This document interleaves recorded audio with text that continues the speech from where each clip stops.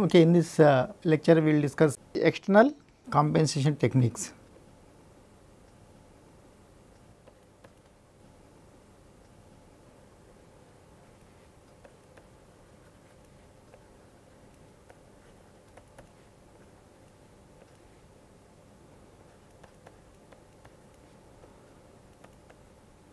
There are two external compensation techniques. Uh, one is dominant pole compensation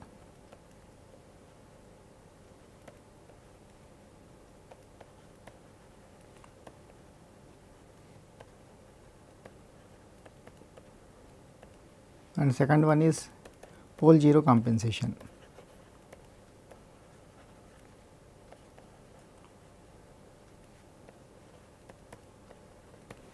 First I will consider the dominant pole compensation.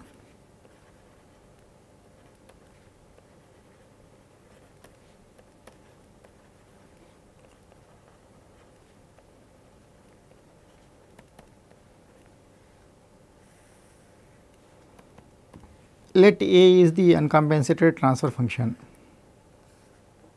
This is A uncompensated transfer function with input Vi and let us call this output as a let us call this output as V 0 dash. Then externally we are going to connect a RC network which provides a dominant pole. This is the final output V naught.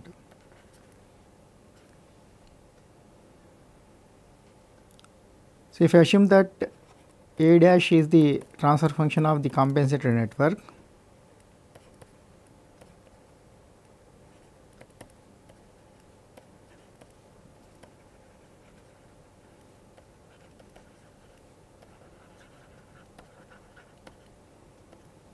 So, this is given by V naught by V i this overall system and A is the transfer function of uncompensated system.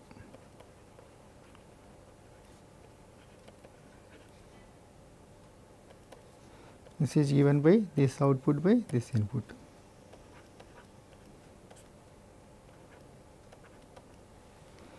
First I will find out the relation between this V naught dash and uh, V naught. What is V naught in terms of V naught dash? This is voltage division. This in Laplace transform we can write down this one as 1 by SC. So, this is V naught, this is V naught dash, this is V naught. So, what is V naught? V naught dash times 1 over SC divided by R plus 1 over SC. So, this is equal to SC SC will get cancelled. So, 1 over 1 plus SRC times A 0 dash. But I want A dash. Okay. So, if I want A dash is equal to V 0 by V i. This is equal to in terms of uh, A, what will be this value? V 0 dash is equal to A into V i or V i is equal to V 0 dash by A. So, from this V i is equal to V 0 dash by A. A is uncompensated transfer function.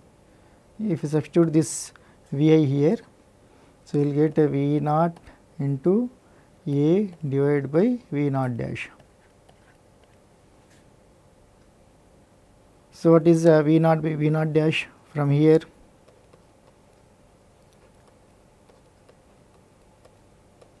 One over one plus SRC. So, this is equal to A times V 0 by V 0 dash is this 1 over 1 plus SRC. This is the expression for the transfer function of compensated network. Here A is the transfer function of the system. Okay. So, that may consisting of uh, any number of break frequencies. If I assume that the system is having 3 break frequencies then uh, we have written the expression for the A as A is equal to AOL which is the open loop gain divided by 1 plus j f by f1 into 1 plus j f by f2 1 plus j f by f3 and whose frequency response we have plotted as?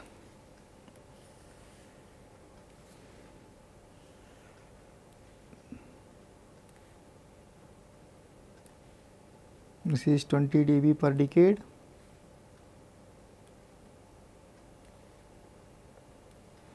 this is another 20 dB per decade this is another 20 dB per decade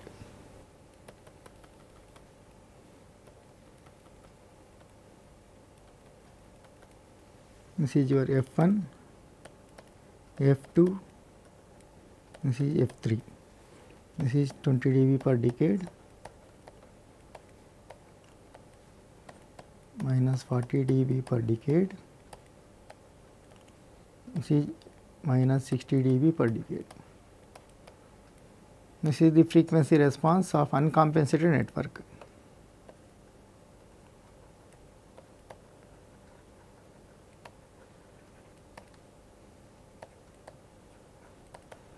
Now, with the compensation how this uh, frequency response will be modified.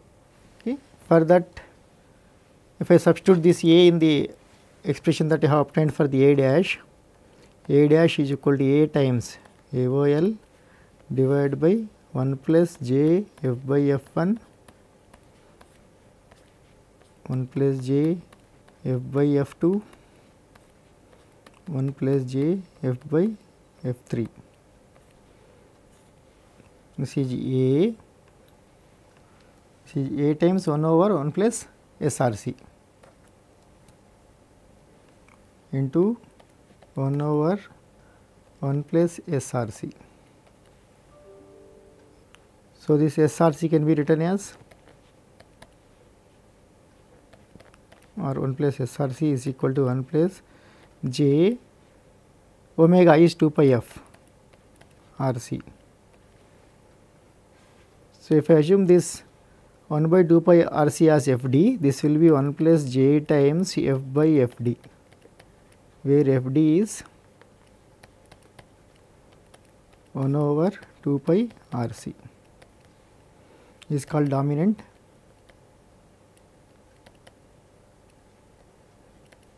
pole or dominant frequency. So, therefore, what happens to this A dash? AOL divided by 1 plus j f by fd is this term into remaining these three terms. 1 plus j f by f1 1 plus j f by f2 1 plus j f by f3 here fd is less than f1 is less than f2 is less than f3 this is f1 f2 f3 fd will be somewhere before this f1 so i'll write somewhere here fd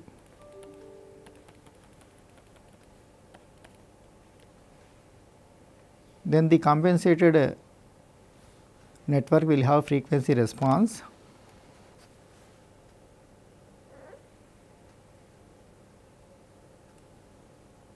So, instead of having uh, minus 20 dB, minus 40 dB, minus 60 dB, so we have only minus 20 dB per decade up to f1. This is the frequency response of compensated frequency network. This is the frequency response of compensated network.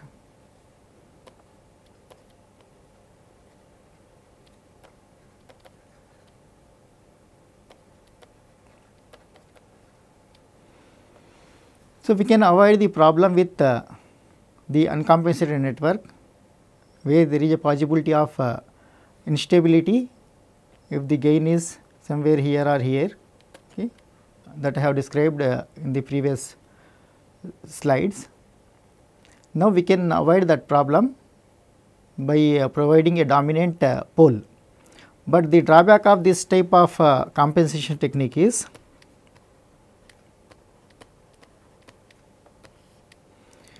now the bandwidth will be this much.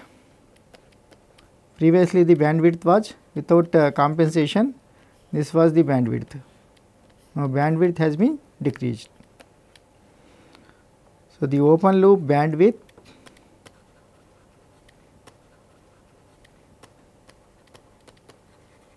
decreases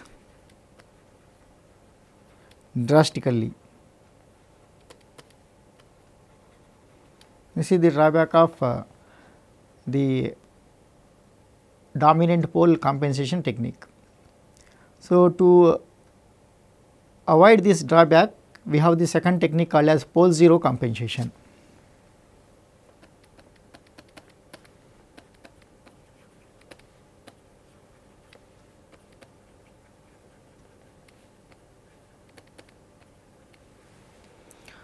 So, as the name implies we are going to introduce one pole and one zero at the output of uncompensated operational amplifier circuit.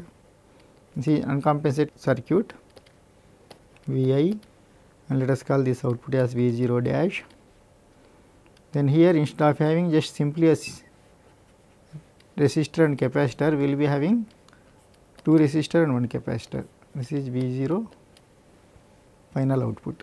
Let us call this one as R1, R2, C2. This you can call as Z2, this you can call as Z1 in terms of impedances. Now, what will be expression for this uh, transfer function of the compensated network okay, A dash. We can derive in a similar manner A dash is equal to V 0 by V i and A is equal to V naught dash by V i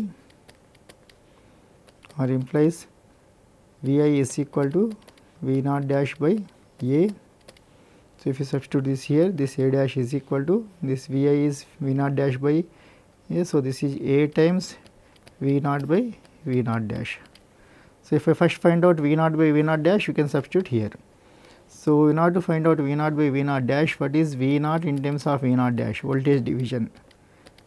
V naught dash into Z2 by Z1 plus Z2. This is equal to Z2 is nothing but R 2 plus 1 by S C 2 divided by Z 1 is simply R 1 plus R 2 plus 1 by S C 2 into V 0 dash. So, if you simplify this 1 plus S R 2 C 2 the numerator S C 2 S C 2 will get cancelled so, this is equal to 1 plus S times R 1 plus R 2 times C 2 into V naught dash.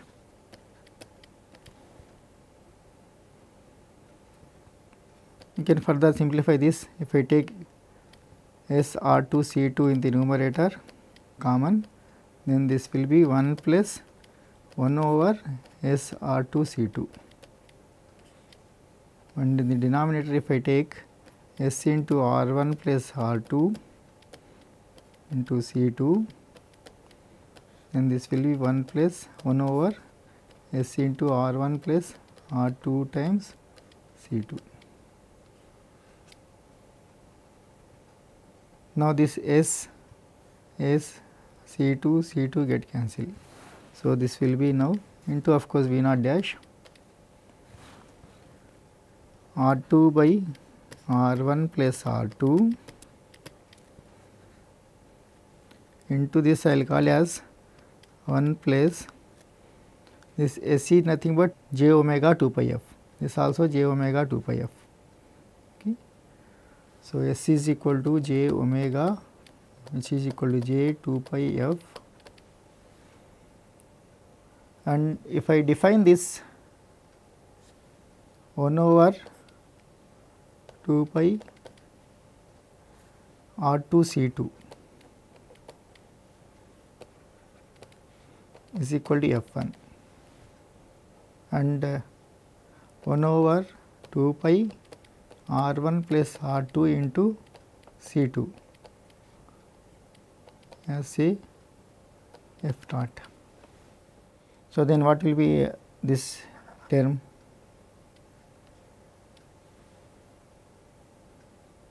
This term becomes now S is equal to j omega 2 pi 2 pi will get cancelled. So, we will get j f by f 1 and the denominator will get 1 plus j f by f naught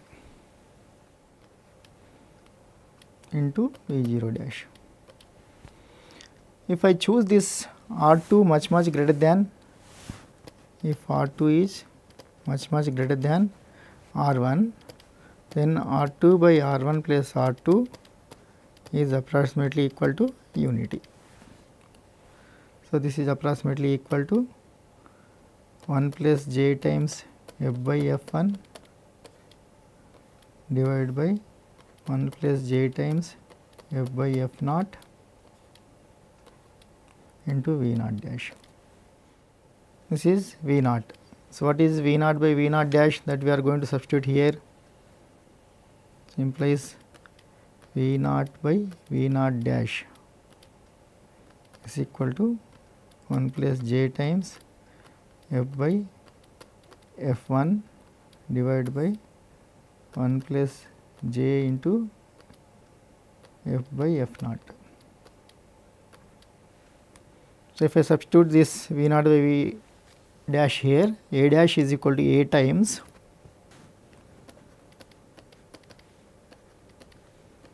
one plus j f by f one divided by one plus j f by f naught. What is a in terms of open loop gain? assuming that 3 break frequencies is AOL by 1 plus j f by f 1, 1 plus j f by f 2, 1 plus j f by f 3 into this frequency we are going to choose this f 1 such that this f 1 f 1 will get cancelled 1 plus j f by f naught. So, this is we are going to choose this f 1 such that this will cancel with the first break frequency. So, that this output AOL divided by 1 plus j times f by f naught into 1 plus j times f by f 2 into 1 plus j times f by f 3. Here f naught is less than f 2 is less than f 3, f 1 is get cancelled. Now, if I plot this frequency response, then bandwidth will increase and also this 20 dB decade uh, slope will be there up to the frequency f 2. I will plot on the same uh, graph. This is compensated system with dominant pole compensation.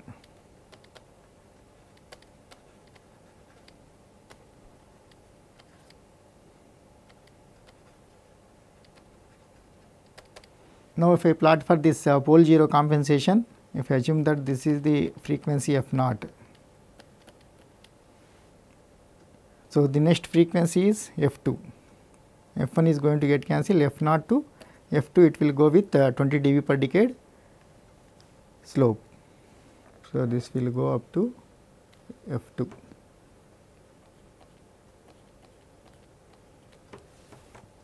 So, this is the frequency response of pole 0 compensation. Now, compared to this dominant pole, this was the bandwidth, now the bandwidth will be this much, bandwidth is increased and at the same time this 20 dB per decade the slope will be there up to f 2 point. So, there will be no stability issue. Okay. So, yeah, the two uh, types of the uh, external compensations pole 0 compensation and dominant pole compensation. There are some applications uh, where we need only the lower frequencies such as the instrumentation applications. In applications where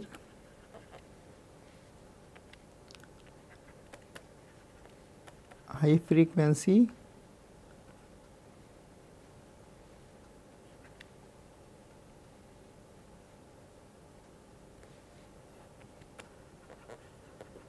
compensation is not required.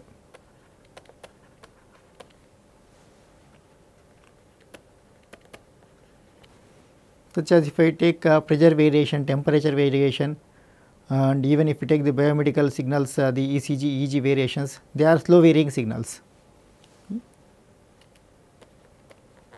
If I consider the pressure, temperature, etc., they are slowly varying signals.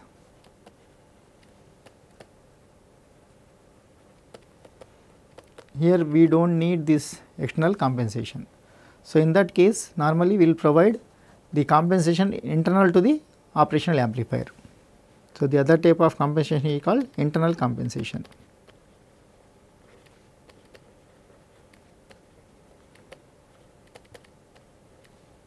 That is the resistor and capacitor will be fabricated inside the operational amplifier itself.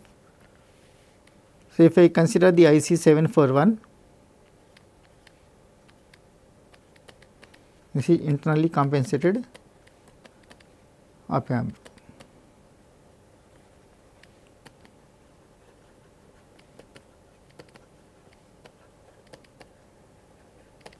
If I take the frequency response of this IC 741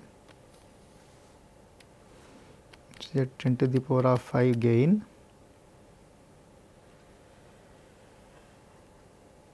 This will be somewhere 10 to the power of minus 1 this is 10 megahertz. So, this is 10 to the power of minus 1 and this is 10 this axis is gain. This is bandwidth. So, the gain bandwidth product will be constant the gain bandwidth product of 741 is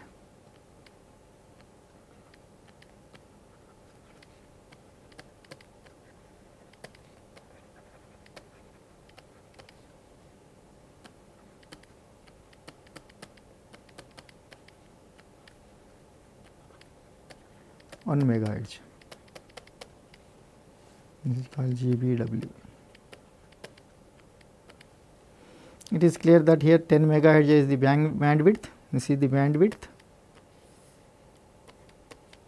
Gain is 10 to the power of minus 1 10 into 10 to the power of minus 1 megahertz which is equal to 1 megahertz.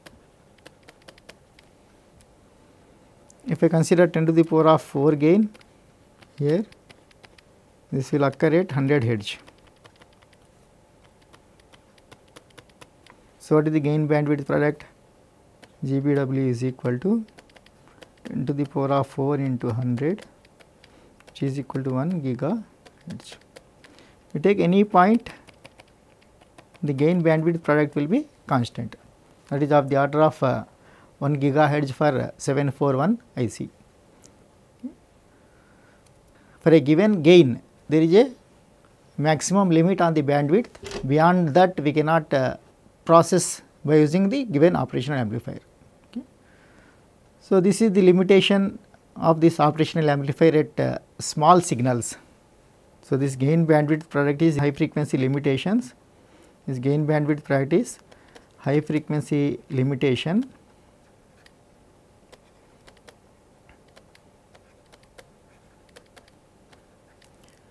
for small signals.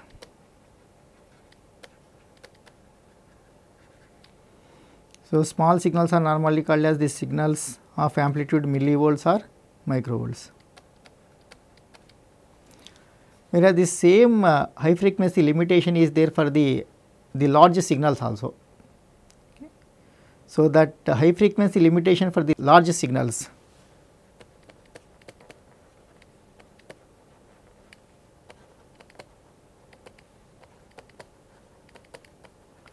for large signals normally of the order of volts.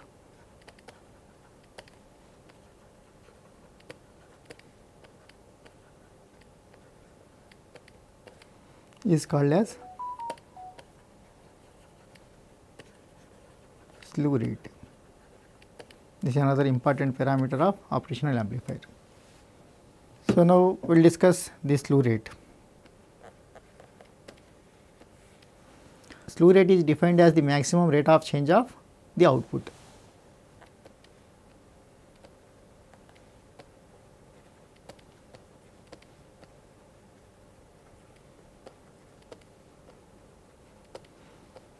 output of op amp with respect to time.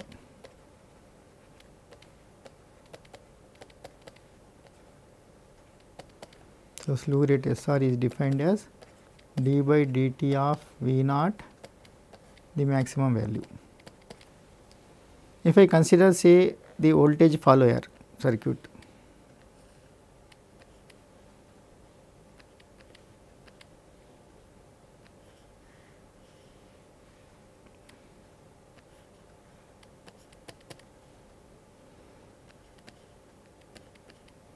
So, whatever the input should be equal to output is voltage follower. So, if I give the input as step this is the input V i. If I give input as step signal.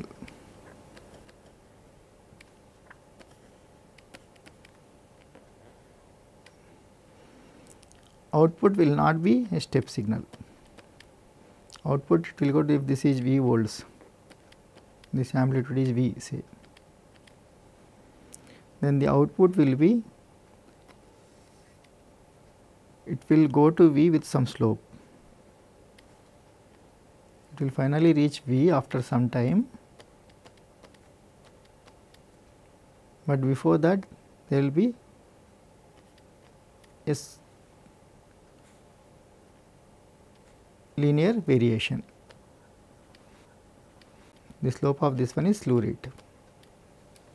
So, normally slew rate will be measured in volts per microsecond is the unit of slew rate. Suppose if slew rate is given as 1 volt per microsecond, the meaning of this one is 1 volt per microsecond. The meaning of this one is the output either rises or falls not beyond 1 volt per a microsecond. That means the output falls or rises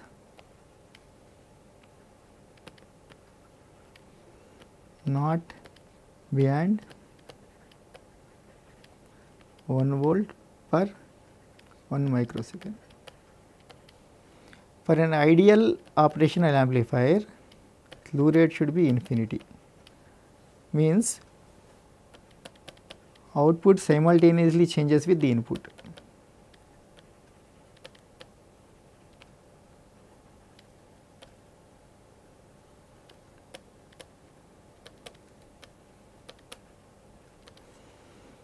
That is here if I give the input as this step signal V i output also immediately will get step signal.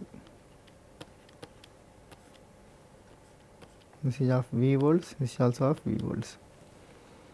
But this is the ideal case.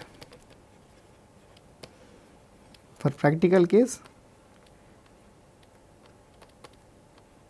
it will take some time to get the output voltage which is equal to input voltage. Okay. So, practically the slew rate values varies from 0.1 to 1000 volts per microsecond. This is normal range of practical op amp. Now, to have a better understanding of this uh, slew rate, if I consider the input V i as V m sin omega and we will consider the voltage follower only. So, output is equal to input for voltage follower.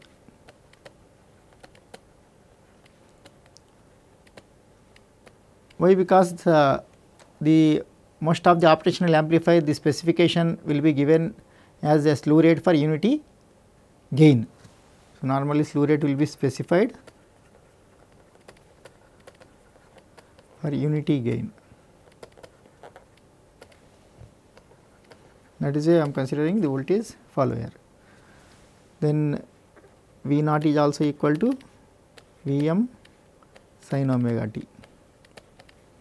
Then what is dV naught by dt is equal to V m omega cos omega t and slew rate is defined as the maximum rate of change of the output dV by dt the maximum value. So, what is the maximum value of this one? The maximum value of cos omega t is equal to 1. So, this will be simply V m into omega. This is equal to V m, omega is 2 pi f. Or from this we can find out the maximum frequency that will be allowed is maximum frequency f max is given by S r by 2 pi V m. So, if S r is in uh, volts per microsecond,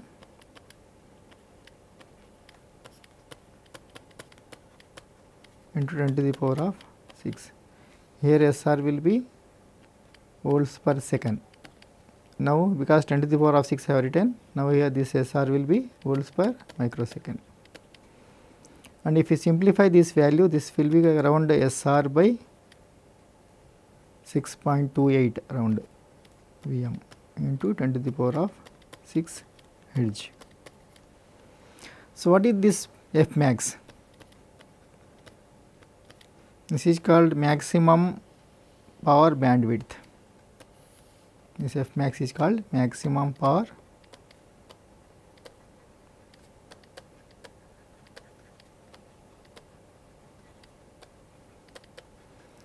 means so this op amp can process up to F max only without any distortion. Op amp gives undistorted output.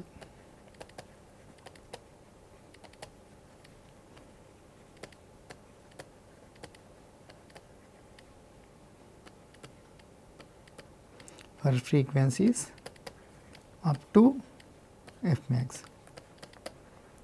If I apply the input frequency above this f max, there will be distortion. Undistorted in the sense the shape of the signal remains same.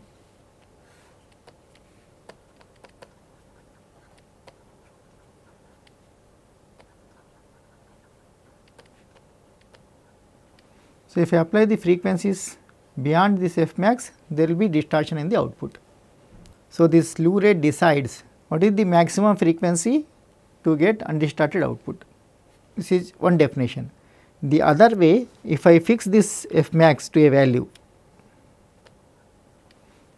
then this slew rate will uh, give the maximum undistorted output, the amplitude of maximum undistorted output at a given frequency and a, a given slew rate, then it will give the maximum undistorted amplitude of the signal. There are two ways we are going to apply the input to this signal V i is equal to V m sin 2 pi f t. So, this slew rate decides what is the maximum frequency that we can apply so that the output will be undistorted. The maximum frequency. On the other hand, if I fix the frequency, this slew rate uh, at a given frequency, slew rate decides the maximum undistorted output voltage swing.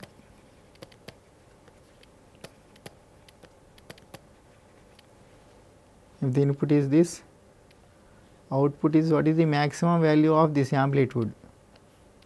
what is the maximum value of this amplitude without changing shape of this input. Input is sinusoidal signal. Output also should be exactly same sinusoidal signal with some maximum magnitude limit. This will be decided by the slew rate. If I fix this one, then the slew rate will decide the maximum frequency of the input signal that will uh, cause undistorted output. This is about the slew rate. So, we will consider the examples in the next lecture. Thank you.